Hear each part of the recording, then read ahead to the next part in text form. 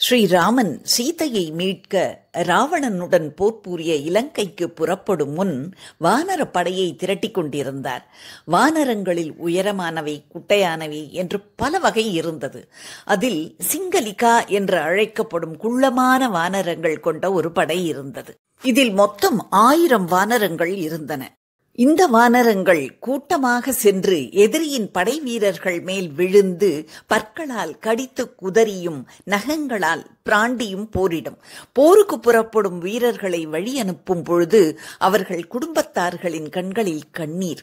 அவர்கள் உயிருடன் பத்திரமாக திரும்பி வரவேண்டுமே என்ற கவலையில் இருந்தார்கள்.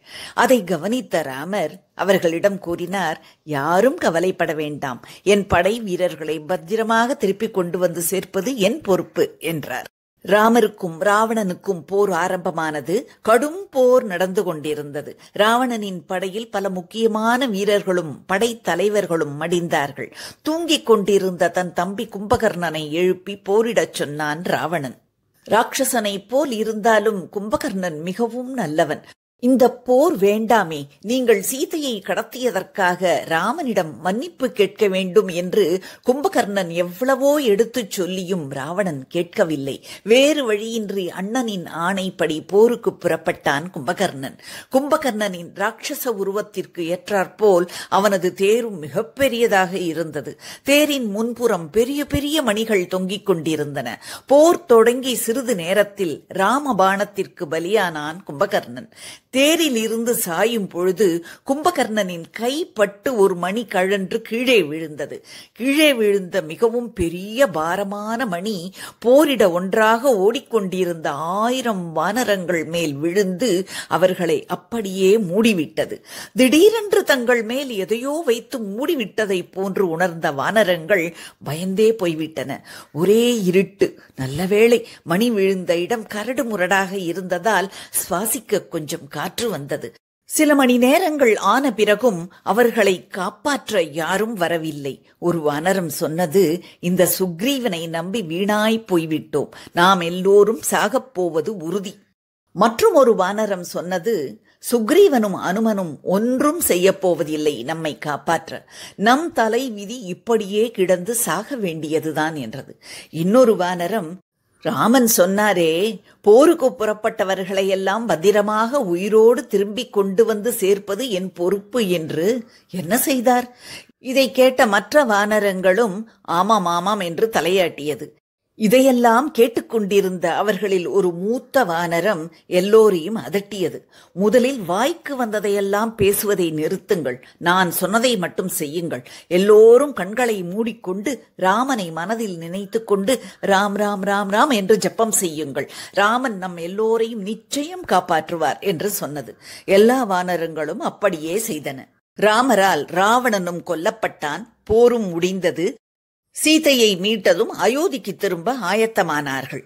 அப்பொழுது ராமர் சொன்னார் சுக்ரீவா நம் படையில் எல்லோரும் பத்திரமாக இருக்கிறார்களா? பார்த்து எண்ணிக்கொண்டு வா. உடனே சுக்ரீவன் சென்று எண்ணிவிட்டு வந்தான். சுவாமி ஆயிரம் சிங்கலிகர்கள் மட்டும் காணவில்லை என்றான் சுக்ரீவன். அதற்கு ராமர் மற்றும் ஒரு முறை சரியாக எண்ணிவா என்று அனுப்பினார்.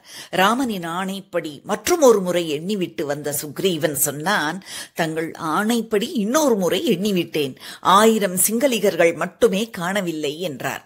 உடனே ராமர் ஹனுமா நீயும் என்னுடன் வா. நாம் அந்த ஆயிரம் வானரங்களை தேடுவோம் என்றார். அனுமனும் ராமரும் வானரங்களை தேடி போர்க்களத்தில் நடந்தார்கள். பல இடங்களில் மடிந்து கிடந்த படை வீரர்கள் உடைந்து கிடந்த தேரின் பாகங்கள் அம்புகள் கேடயங்கள் என்று எல்லாவற்றையும் கிளறி பார்த்தார் அனுமன். சிங்கலிகர்கள் தென்படவே இல்லை. திடீரென்று ராமர் ஓரிடத்தில் நின்றார். அனுமனே அதோ அங்கே பார். ஒரு பெரிய மணி தெரிகிறது என்றார். ராமர் சொன்னது புரிந்துவிட்டது அனுமனுக்கு. இருவரும் அந்த இடத்திற்கு விரைந்தார்கள். சஞ்சீவி பர்வதத்தையே தன் ஒரு கையால் தூக்கிக் கொண்டு பறந்த அனுமன் தன் வாலின் நுனியை அந்த மணியின் வளையத்தில் நுழைத்து தூக்கினான். அனுமன் மணியை தூக்கியதும் அதன் கீழ் ஆயிரம் சிங்கலிகர்கள் கண்களை மூடிக்கொண்டு கை கூப்பியபடி ராமநாபம் ஜபித்துக் கொண்டிருந்தன. பல மணி நேரத்திற்கு பின் வெளிச்சமும் காற்றும் பட்டதும் கண்களை திறந்தன வானரங்கள். எதிரே ஸ்ரீராமனும் அனுமனும் நின்றிருந்தார்கள். வரிசையாக கைகூப்பியவாறு நின்று கொண்டிருந்த வானரங்கள் கண்ணீருடன் ராமனிடம் பிரபுவே என்ன நடந்தது என்று தெரியாமல் இருட்டில் பயந்து அடைந்து கிடந்த நாங்கள் ஏதேதோ தவறாக பேசிவிட்டோம். உங்கள் மேலேயே சந்தேகப்பட்டு விட்டோம். எங்களை மன்னித்து அருள வேண்டும் என்று சொல்லி ஆயிரம் வானரங்களும் ராமனின் பாதங்களில் விழுந்து வணங்கின. அதை கேட்டு புன்முறுவல் செய்த ராமர் எல்லா வானரங்களையும் தன் கையால் தடவி கொடுத்தார்.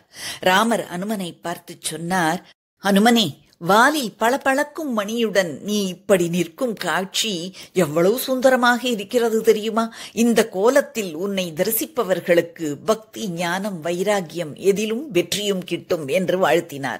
கர்நாடகா ஆந்திரா மற்றும் தமிழ்நாடு இந்த மூன்று மாநிலங்களிலும் பல ஊர்களில் வியாசராஜர் பிரதிஷ்டை செய்த எழுநூத்தி முப்பத்தி இரண்டு அனுமன் விக்கிரகங்களிலும் வாலில் மணி தொங்கிக் கொண்டிருக்கும். ஜெய் ஹனுமான். ज्ञान गुण सागर। जय कपीश तिहु लोक उजागर। रामधूत अतुलित भलदामा अञ्जलि पुत्र पवन सुत नामा। महावीर विक्रम बजरङ्गि कुमति निवार सुमति के सङ्गी कञ्चन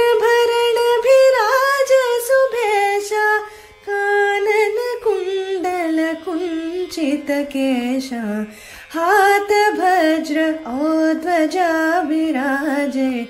काद मूज वो साजे। शङ्कर सुमन केशरीन